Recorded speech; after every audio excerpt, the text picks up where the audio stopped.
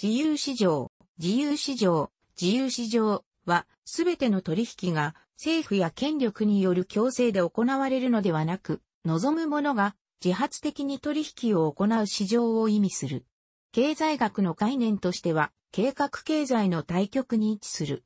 自由市場という言葉は、経済全体を指すだけでなく、より小さな個々の市場を指す場合もある。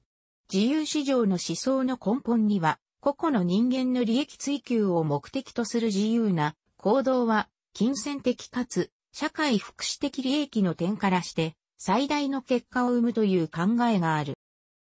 自由市場経済では、介入が行われる場合も強制を廃止、自発的取引を助けることを目的とする。自由市場経済では、政府は課税を行うが、税収は、このような自発的な市場の円滑的な活動を推進するため身に用いられる。欧米では自由市場の形態をしばしば、レッセフェールというフランス語で表す。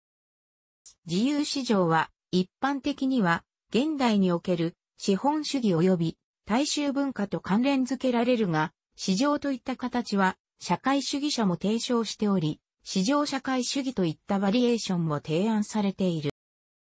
政府や権力による支配ではなく、民衆の個々の自由な経済活動による市場は、需要と供給の自然発生的な調整機構によって、国及び民衆にとって、最も効率の良い生産関係を生み出し、故に、最大の金銭的、社会的、政治的な利益をもたらすとの思想が、基本的な自由市場の前提である。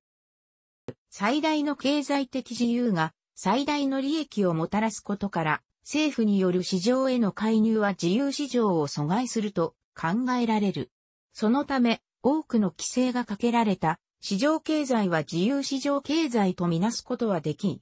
どの程度の強制力までを自由市場経済として認めることができるかは論争の的である。社会哲学視点から見ると自由市場は社会のある種の財の配分機構である。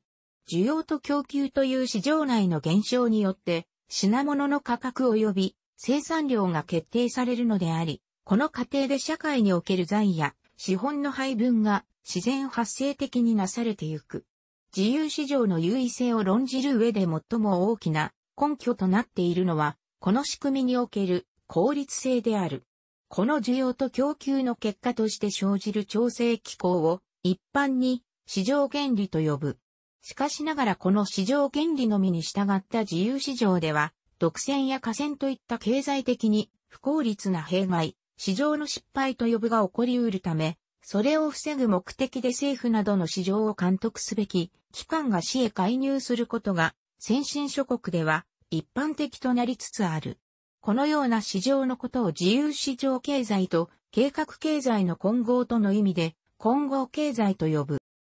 ソビエト連邦が勃興して以来、自由市場の機構は中央指令型経済や中央計画経済と対比されることが多いが、そもそも自由市場が18世紀に理論的に推奨され始めた当初は、中世型経済や初期近代経済との対比で優位性が論じられていた。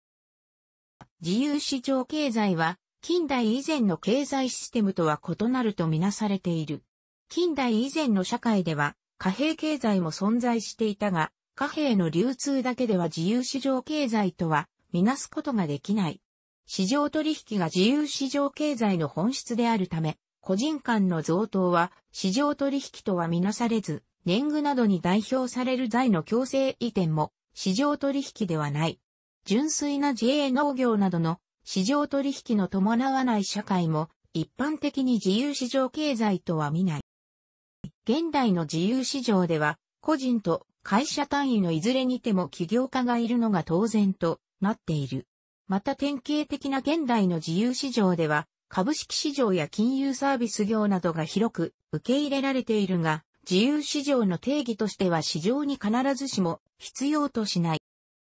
自由市場は社会組織の自然形態であり、取引などの活動が制限されていなければ、自由市場は自然発生すると仮定した理論もある。経済史学では広く、自由市場経済は特別な近代の歴史現象であり、中世後期や近代初期のヨーロッパにて誕生したと受け入れられている。また、自由市場の構成要素はすでにギリシャローマ古典時代や西側社会以外の中から見出すことができると考えている者もいる。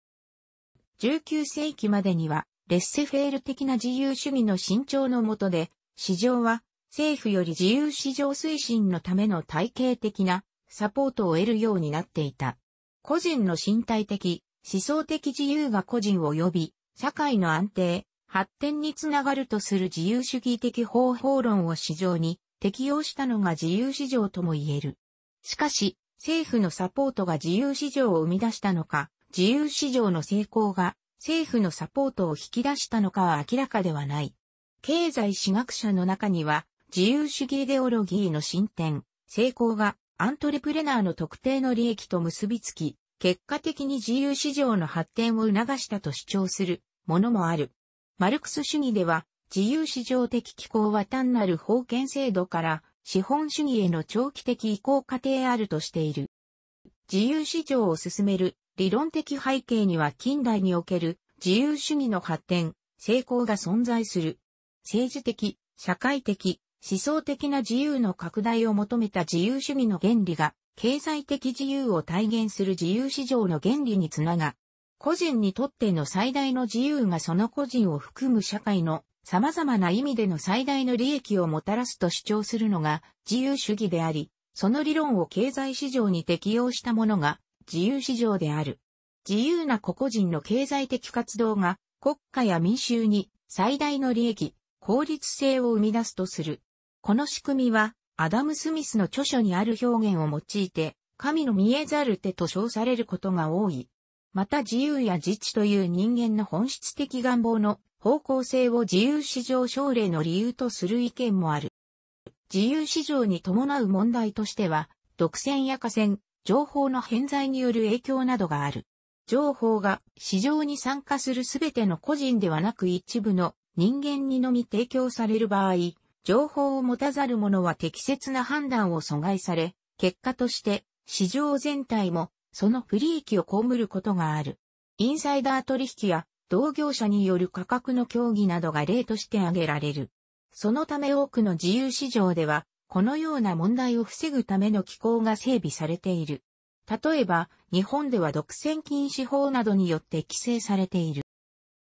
自由市場の根本にある個々人の自由な活動を一単位とする市場の調整機構は民主主義の概念に極めて類似したものである。個人の自由で活発な活動が社会や国家の最大の利益を生むとする方法論を政治的、社会的に捉えると民主主義であり、経済的に見るのであれば自由市場とも言える。この意味で自由市場での経済活動は貨幣を媒介としての選挙とも表現できる。すなわち個々人の金銭、票を適切と考える、物品、政治家に用いる、投票すると考えられる。この金銭を媒介とする選挙に類似した機構を、ドルボーティング、ドル投票、金銭投票と表現することがある。